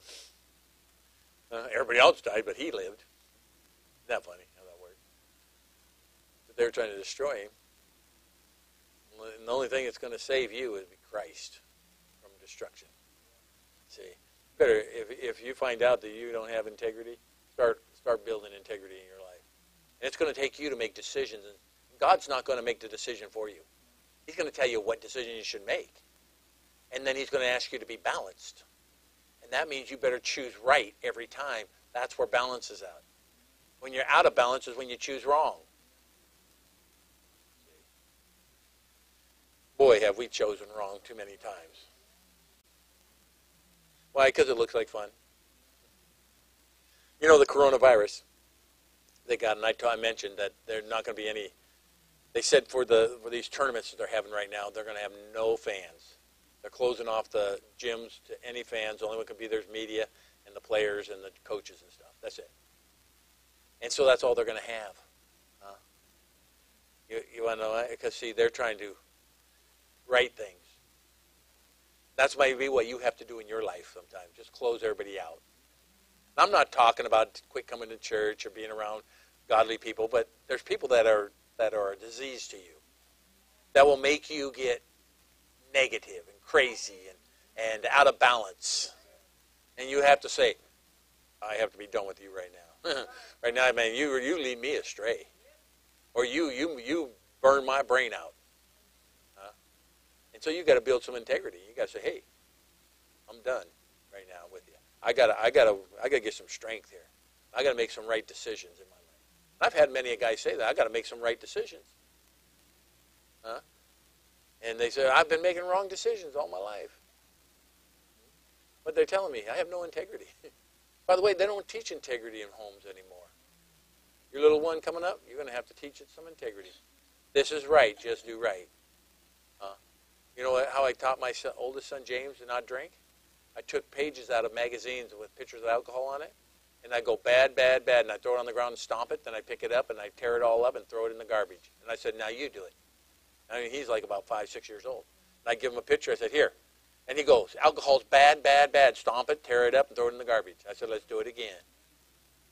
You may you may go through a whole bunch of magazines. Amen. Same with cigarettes. You don't need to smoke. It's bad. It's it, it, look. Integrity says I'll stay away from that. That stuff will destroy you. You may not you may not go to hell because of it, but you'll smell like you've been there and also destroy your body. I was telling my kids, alcohol is a poison. There's only a poison that we sell for people to consume, and it's legal. Huh? I said it's just as dangerous as any other drug, because that's what it is. And I said, but they say it's okay because you know it's legal. Legal according to who? According to man, because the ways of man then are over the ways of death. And that's where it goes. And how many people get killed every year from alcohol? You want to know what? Their choices are out of balance. And you and you know what the scriptures say, and I've taught them, is that you, will pervert the law if you you drink. You're going to pervert the law. You want to know why our judges should never drink? For that reason alone. But we got a bunch of drunk judges behind the bench. We Got a bunch of junk, drunk politicians making laws.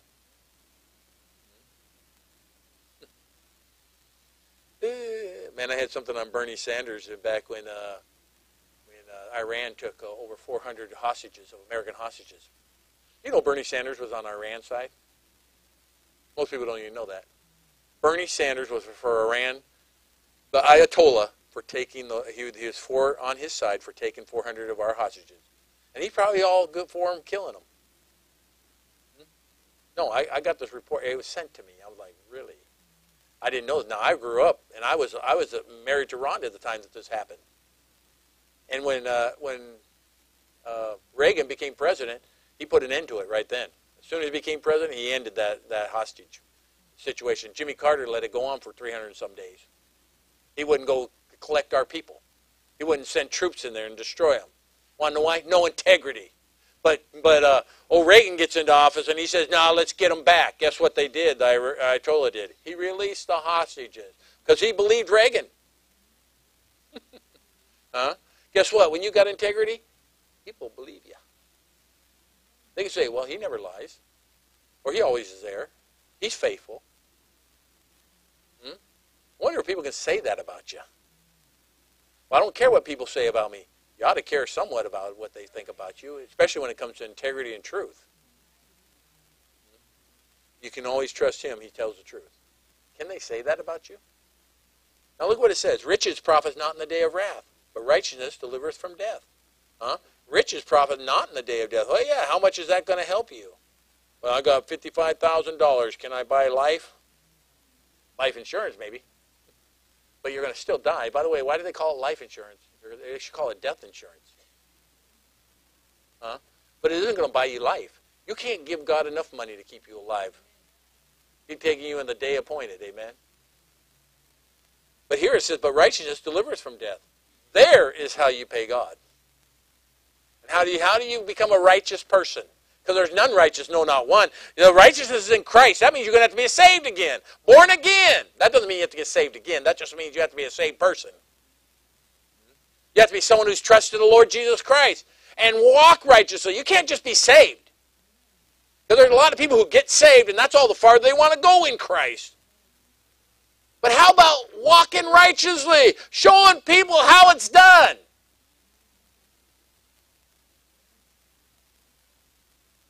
To deliver you from death. And it doesn't just mean you're going to have a long life. That just means that there's a time that you could have got killed, but because you were walking righteously and you made the right choice, you didn't end up over here where death was at. You ended up over here where life was at. Hmm? You avoided being killed. There was a guy waiting for you, but you didn't go that way. Huh? Saved your life. Righteousness saved your life. And look, at there's many times I wasn't walking righteously when I was lost. And I'm telling you, I thought I was going to be killed a few times.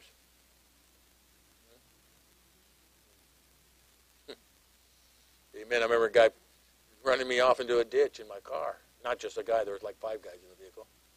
And uh, I was with Fred. Remember Rhonda Fred? And and uh, where we get run off. And, and so I got out of my car. The first thing I thought of was, well, there's five against two. We're probably taking a whooping here, maybe whooping unto death.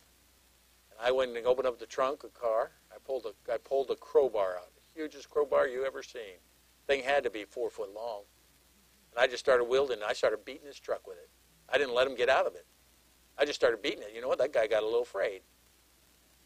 But you know, he could have pulled out a gun and shot me dead. I wasn't thinking about that. See, that's what stupidity does for you. Unrighteousness, I was on the wrong pathway. That guy could have had a gun, killed me right then. He could have jumped out with a bigger crowbar and beat me down with it. How dare I beat on his truck? but I thought he thought I was crazy enough.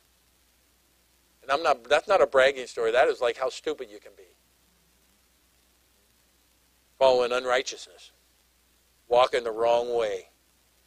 Look at what it says in the next verse. The righteousness of the perfect shall direct his way. See that? The righteousness of the perfect shall direct his way. And how do you get direction? Through the Word of God. How are you going to get righteous? Through the Word of God. After you've got Christ, you've got to follow the Word. You've got to read it. You've got to read it so you know what to follow. Can you imagine that? So uh, someone gives you instructions. "Here, here's the instruction booklet to this job. I want you to do this job. Read the instruction booklet," and you never read it.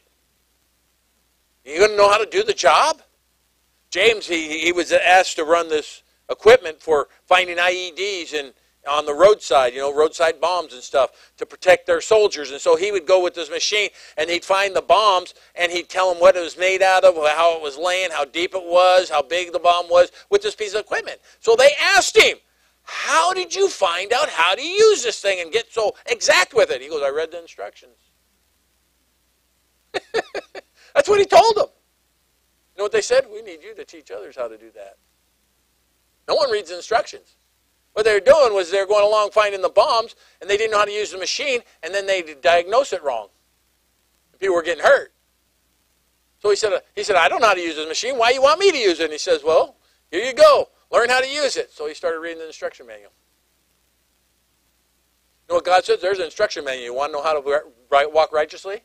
Don't just pretend like you walk righteously or figure it out your own self from your own flesh, your own ways, on your own understanding. Get the understanding, knowledge, and wisdom of God and walk how learn how to walk righteously so that you can be that kind of person. That you'll be balanced. Yee, amen. Praise the Lord. Hallelujah. I kick my heels up. Amen. Praise the Lord. But the wicked shall fall by his own wickedness. There it is. His trap is wickedness. Our safety is righteousness. How do you know? Because look at the next verse. The righteousness of the upright shall deliver them. Huh?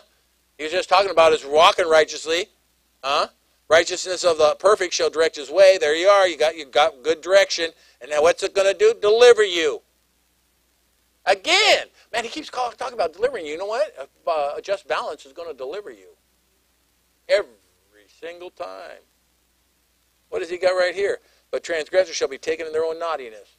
There it is. Their own ways again destroy them. You don't want your own ways. You need to read Proverbs 3, uh, 5, and 6. Amen. Amen. And that'll tell you, you don't want your own ways. Don't trust your own understanding. It'll lead you astray. There's so many people have their own understanding, and then they become very bitter in their heart because it's contrary to truth and it's contrary to what someone's teaching, like I'm teaching, and they'll get mad at me because they don't believe it that way. Not because the Bible is is saying agreeing with them; it's because they don't believe it. And that's what they usually tell me. I don't believe that. Well, it's Bible. I don't believe it. So you don't believe God? That's what His Word says. Look at it's not my word; it's God's word. Did He not just say that? The righteousness of the upright shall deliver them. Yes, He did. Huh? But transgressors shall be taken in their own naughtiness. Naughtiness is a bad thing too, by the way. It's not just pointing your finger at a little kid saying naughty, naughty, naughty. That's not what it is. But that's what we made it. We dif- we diffused that that sin. It's like calling someone an alcoholic instead of a drunkard. I really have a problem with calling someone an alcoholic. I, I don't have a problem with calling them a drunkard because that's what God calls them. A drunkard means it's, it's a, a distasteful word.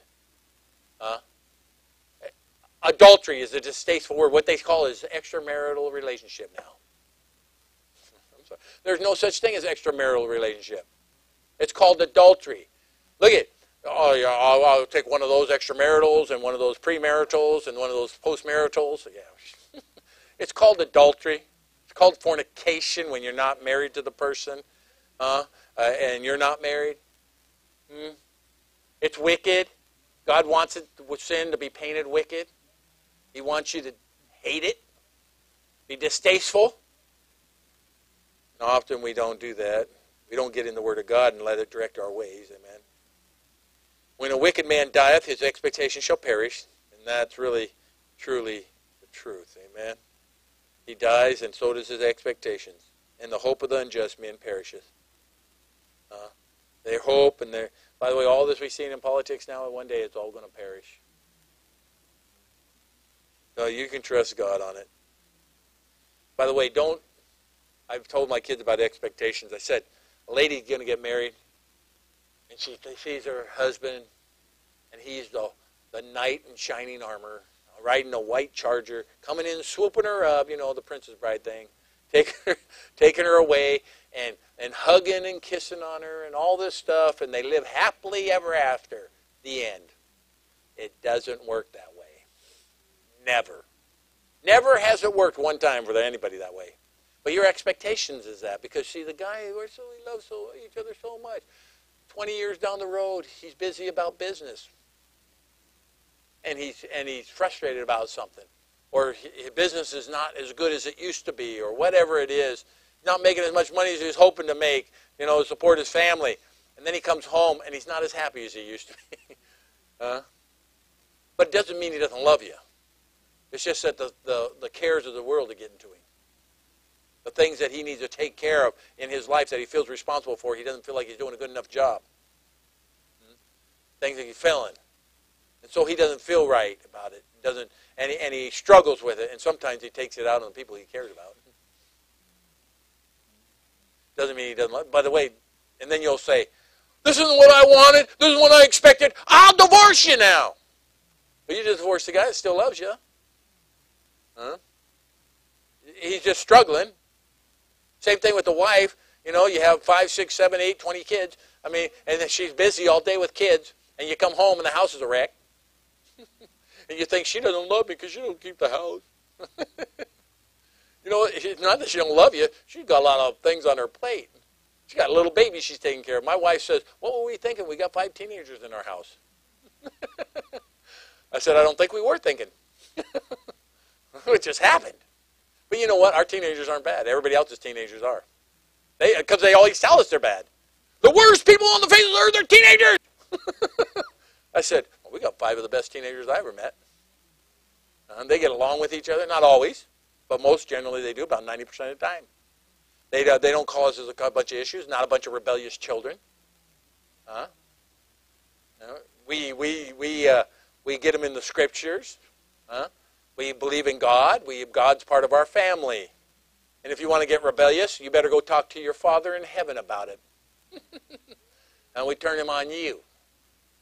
Uh, but again, a lady gets a lot of things on her plate, and she, that husband comes home and she doesn't have everything done that she'd like to have done. Maybe the dinner's not done yet, or house isn't clean, dishes are still dirty. the husband gets all upset and says, "She don't love me. She don't take care of the house. What have you been doing all day?" huh?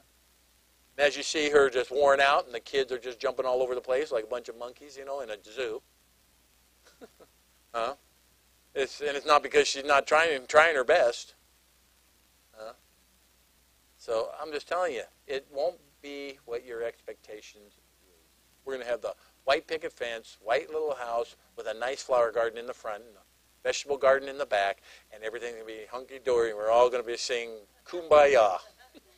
it doesn't work that way. it, it, it, and I'm talking to anybody in here. You'll find this out. Amen. It don't work that way. But you know what? The expectation is, though, the wicked will be slaughtered by God his expectation shall perish. You, know what, you know what the wicked's expectation is? To take America. Expectation is to destroy Israel. Expectation is, is to give the mark of the beast to all people on the face of the earth.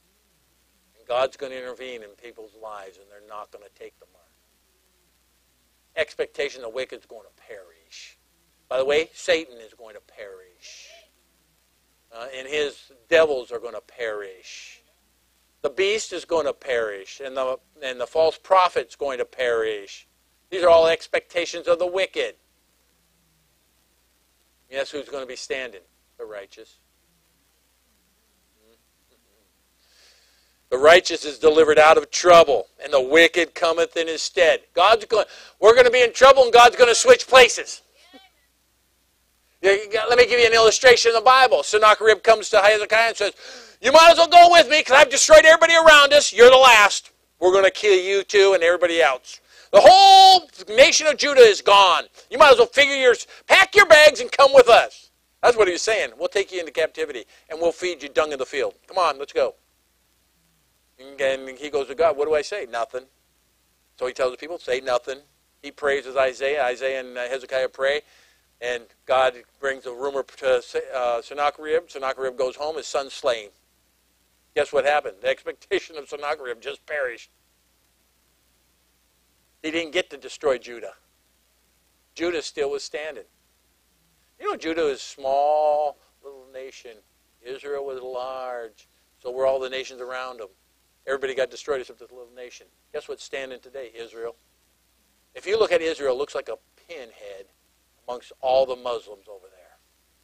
All the nations around them, as far as you can go from Africa it's West Africa, all the way out to the Middle East, you know, going toward the Persian Gulf and all that. And here's little Israel in the middle. They want that little piece of land. Everybody does. Where Jerusalem's at. And God says, uh-uh. your expectation's going to be destroyed. It's going to perish with you. Israel's still going to be there. From this time forward, Israel's going to be there. They can do all they want try to destroy it. It isn't going to happen. Hmm. You say, how do you know? I read the end of the book. So the righteous will be delivered out of trouble, and the wicked cometh in his stead. Huh? That's what Armageddon's about. Here comes Armageddon. God's going to chase them into the mountains and slay them. They're going to be running from God. Because you know he's got his vesture on and it's dipped in blood and it says King of Kings, the Lord of Lords on his vesture, written in blood. And it's the blood of the Lamb and they're going to they're going to flee from it. Why are they going to flee from it? How do they know that's the blood of the Lamb? Because it's going to talk to them, I think. I think the blood of the Lamb, they're going to look at it and say, oh, this is a different blood than any other blood. Here we go. Huh? Here's something I want you to see real quick. Says the hypocrite with his mouth destroyeth his neighbor, but the, through knowledge shall the just be delivered. Hypocrites, destroying your neighbors by living a hypocritical life, sending them to hell because you don't live as you speak. Huh? But through knowledge shall the just be delivered. You want to help them out? Then live by the knowledge of the Word of God. When it goeth well with the righteous, the city rejoices. When the wicked perish, there is shouting. I was thinking about this in Matthew chapter uh, 5, verse 14. It says that we're a city on the hill. You can't put out the, the city's light. The light in the city can't be put out. That's what we're supposed to be. And guess what? When you're that city, when the church is that city, when the people of God are like that city, then there's rejoicing. But when we start trying to hide that light that's supposed to be lighting up that city, then people start rising up against us. I believe that's what's happened in America. The churches have quit shining the light. Every time we hand out a track, it's a candle. It's a lantern. Every time we tell someone about the gospel, it's a lantern, it's a candle. It's light that we're shedding. It's light we're handing out. That's how we have to look at it. And then the, then the city would rejoice. There was a great rejoicing in our country. You know, when um, uh, I remember when the Gulf War came about, uh, Desert Storm in the 1990 91. I'm going to tell you, churches started to, people started getting into church. Light was being handed out. The gospel was being preached. People started getting in there. They were fearing for life, death. They were thinking, oh man, this is all over with. This is it. And we went over there and pounded them. I had video and video, and video of this. And then we pounded uh, Baghdad, horribly pounded them. So much so, my brother-in-law says he was in Baghdad when they went into Baghdad. Uh, no, he went into Kuwait. When we went into Kuwait, he said uh, the people, the, the soldiers, raised their guns in the air and said, "We surrender." You know what happened? Every day they got pounded with our, our forces. Every day. So much so, it didn't matter if they had ammunition or how many weapons they had, they didn't care anymore.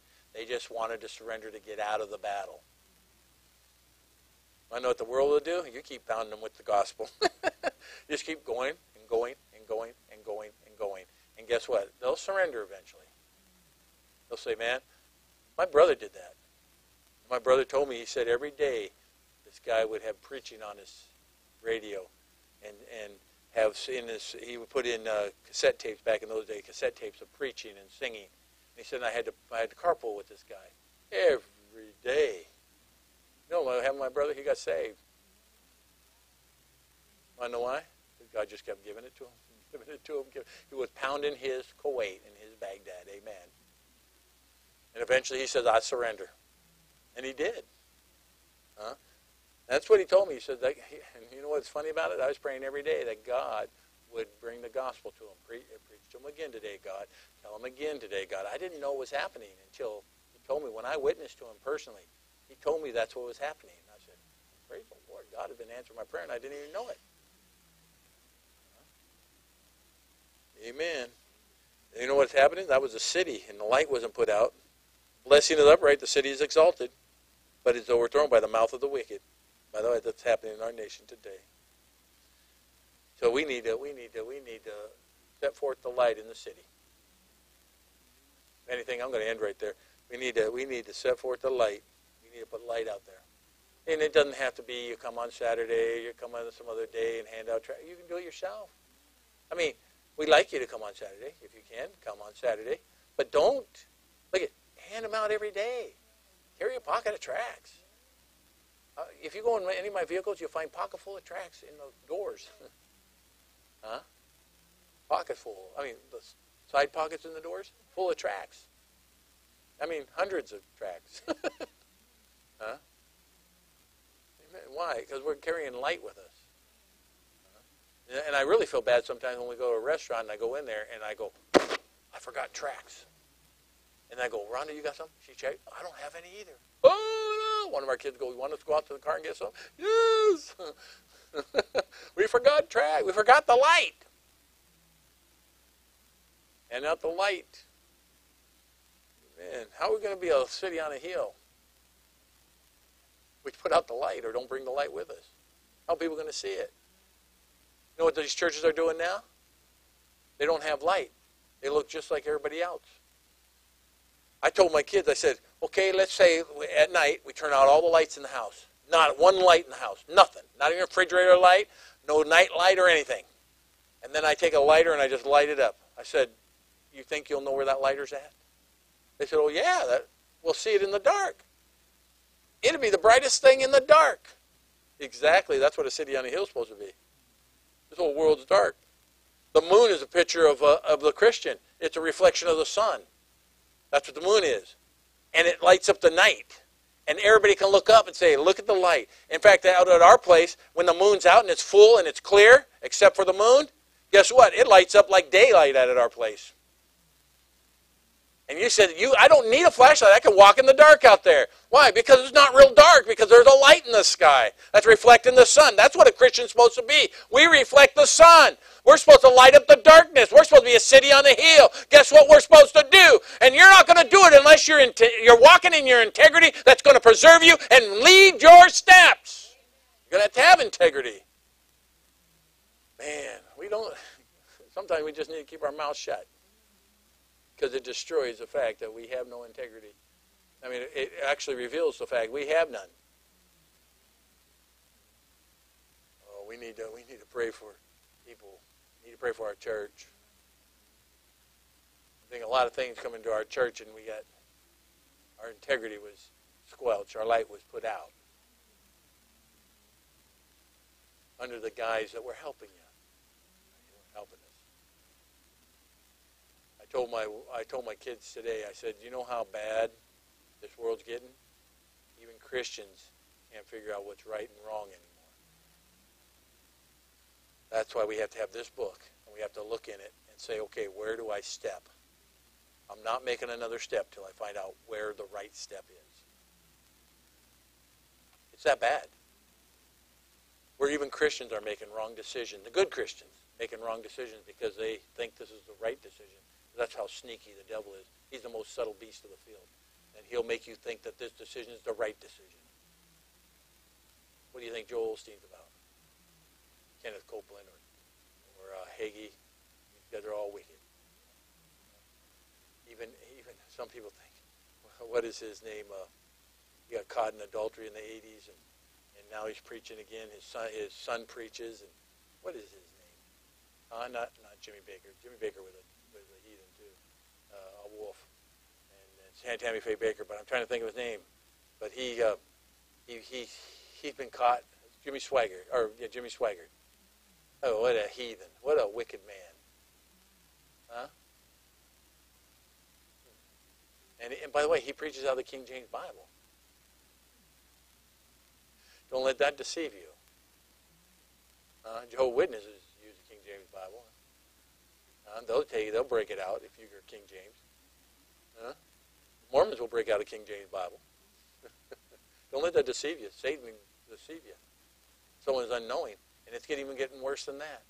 Even more mature Christians are trying to figure out which way is the right way. Well, let's pray. Our Heavenly Father, help us understand what we heard. God, I pray you get glory out of it all. Lord, in our life, I pray you help us. Help us to be aware, spiritually aware walking in the Spirit. It's the only way we're going to understand things, right from wrong, is spiritually. Walk in that flesh, Lord, we'll choose wrong every time.